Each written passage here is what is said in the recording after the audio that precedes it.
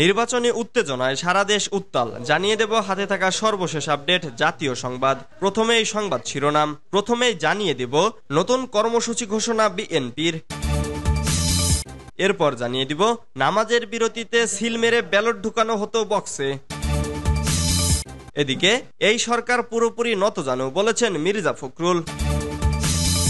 আরও জানিয়ে দিব, বিএনপির কথায় আর মন্তব্যের প্রয়োজন পড়ে না, বলেছেন কাদের। সর্বশেষ জানিয়ে দিব, মাঠে মিত্রদের পাশে চায় বিএনপি এতক্ষণ শুনছিলেন সংবাদ শিরোনাম, এবারে বিস্তারিত।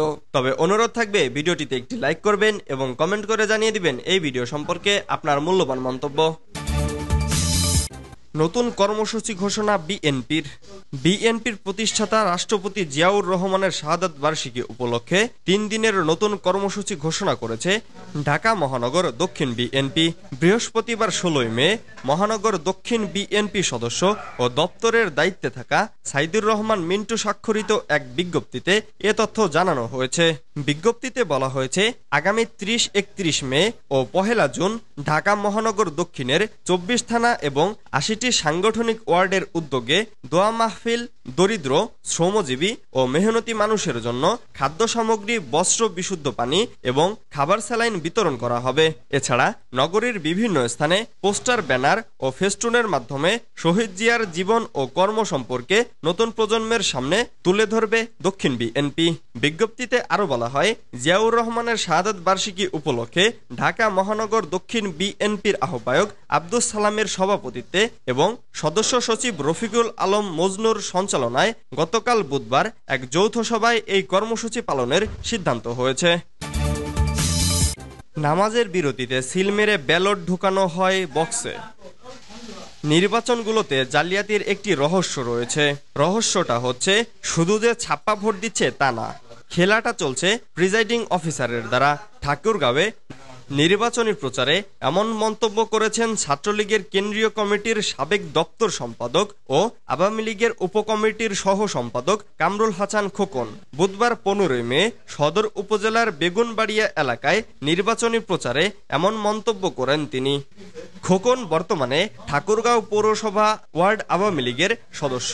এ বক্তব্যের একটি ভিডিও সামাজিক যোগাযোগ মাধ্যমে ভাইরাল হয়েছে। তিনি বলেন, প্রিজাইডিং অফিসার ও সহকারী প্রিজাইডিং অফিসারকে আমাদের নেতারা দুইশো পাতার একটি করে বই দেন।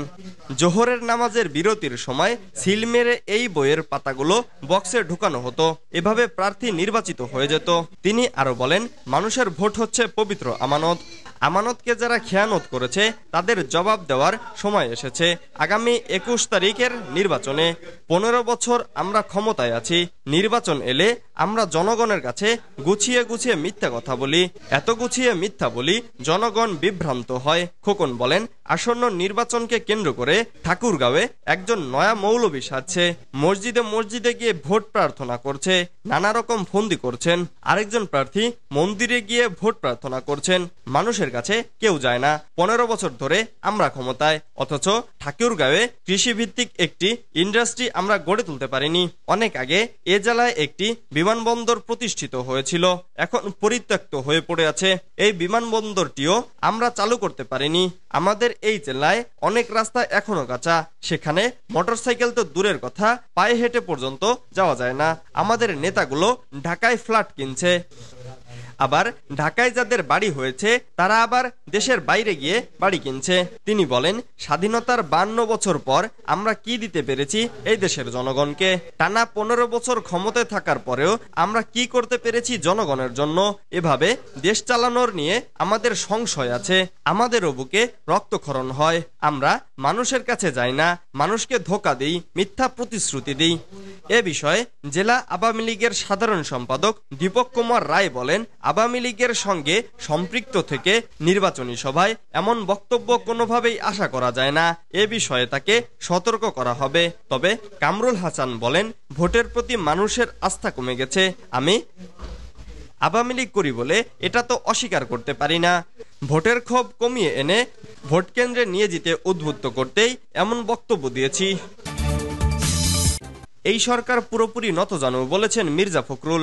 বিএনপি মহাসচিব মির্জা ফখরুল ইসলাম আলমগীর বলেছেন, তিস্তা নদীর পানি চুক্তি নিয়ে দীর্ঘকাল ধরে সরকার গড়িমসি করছে। আসলে এই সরকার পুরোপুরি নতজানু সরকার। তারা কখনো জনগণের স্বার্থে পদক্ষেপ নেয় না, কারণ তারা ভারতের কাছে খুব দুর্বল।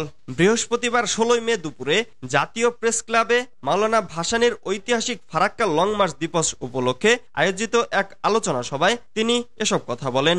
ভারতীয় আগ্রাসনের বিরুদ্ধে রুখে দাঁড়াও শিরোনামে আলোচনা সভার আয়োজন করে ভাসানী অনুসারী পরিষদ। মির্জা ফখরুল বলেন, স্বাধীনতা যুদ্ধে ভূমিকার জন্য অবশ্যই ভারতের কাছে কৃতজ্ঞতা প্রকাশ করি। এরপরও আমরা লক্ষ্য করছি, তারা সব সময় বাংলাদেশকে নিয়ন্ত্রণে রাখতে সব কর্মকাণ্ড পরিচালনা করছে। তারা শুধু ফারাক্কা নয়, বাংলাদেশের একশো চুয়ান্নটি নদীর পানি বন্টন নিয়ে গড়িমসি করছে। সমস্যার সমাধান করেনি। দেশের মানুষকে তার নিজের অধিকারের জন্য লড়াই করতে হবে বলে উল্লেখ করেন ফখরুল এবং বলেন, তার মূল কারণ হচ্ছে এই সরকার তাদের স্বার্থ এবং প্রভুদের স্বার্থের বাইরে যেতে পারে না। এজন্য জনগণের ওপর নির্যাতন চালিয়ে যাচ্ছে। আওয়ামী লীগ সরকার বিশেষ দায়িত্ব নিয়ে ক্ষমতায় আছেন বলেও অভিযোগ করেন বিএনপি মহাসচিব। তিনি বলেন, এই সরকার জনগণের সরকার নয়, তারা নির্বাচনে বিশ্বাস করে না। বিএনপির কথায় আর মন্তব্যের প্রয়োজন পড়ে না, বলেছেন কাদের। বৃহস্পতিবার ষোলোই মে দুপুরে তেজগাঁওয়ের রহমতে আলম ইসলাম মিশন এতিমখানায় সুবিধা বঞ্চিতদের মধ্যে সুষম খাবার বিতরণ অনুষ্ঠানে প্রধান অতিথির বক্তব্যে তিনি এসব কথা বলেন। যুক্তরাষ্ট্রের অবস্থান নির্বাচনের আগের অবস্থায় আছে। বিএনপির মহাসচিব মির্জা ফখরুল ইসলাম আলমগীরের করা এমন মন্তব্যের বিষয়ে ওবায়দুল কাদের বলেন, প্রশ্নটা মির্জা ফখরুল ইসলামকে জিজ্ঞাসা করুন। তিনি কীভাবে জানলেন যুক্তরাষ্ট্রের অবস্থা এখনও আগের জায়গায়। ডোনাল্ড লুর বক্তব্য কি? মির্জা ফখরুল শোনেননি। ফখরুলের প্রশ্নের জবাব ডোনাল্ড লু তার বক্তব্যে পরিষ্কার করেছেন। এখানে তার মন্তব্য করারও প্রয়োজন পড়ে না। সাংবাদিকদের উদ্দেশ্য করে তিনি বলেন, এখান থেকেই প্রশ্নের উত্তর বের করুন। আমি নতুন কোনো উত্তর দিতে চাই না। যুক্তরাষ্ট্র তার অবস্থানের কথা বলেছে। তিনি যে কথা বলছেন, এরপর মির্জা ফখরুলের যে বক্তব্য, এর কোনো মূল্য নেই। আওয়ামী লীগের ত্রাণ ও সমাজ কল্যাণ বিষয়ক উপকমিটির সম্পাদক আমিনুল ইসলাম আমিনের সভাপতিত্বে অনুষ্ঠানে বক্তব্য রাখেন স্বরাষ্ট্রমন্ত্রী আসাদুজ্জামান খান কামাল, আওয়ামী লীগের সাংগঠনিক সম্পাদক মির্জা আজম, এতিমখানার শিক্ষার্থী সহ মহানগরের অন্যান্য নেতারা। মাঠে মিত্রদের পাশে চায় বিএনপি। নিষ্ফল সরকার বিরোধী আন্দোলনের পর দীর্ঘ বিরতি পোড়া খাওয়া বিএনপির এখন আবার রাজপথে ফেরার অভিশাল ঝিমুতে থাকা দলের নেতাকর্মীকে জাগাতে সাংগঠনিকভাবে নানা কর্মসূচির পথে হাঁটছে বিরোধী দলটি। এ প্রতিক্রিয়ায় সবার আগে রাজনৈতিক মিত্র হিসেবে পরিচিত বিভিন্ন দলকে পাশে চাইছে তারা। এ পটভূমিতে সরকার বিরোধী দলগুলোর সঙ্গে ধারাবাহিক বৈঠকও শুরু হয়ে গেছে।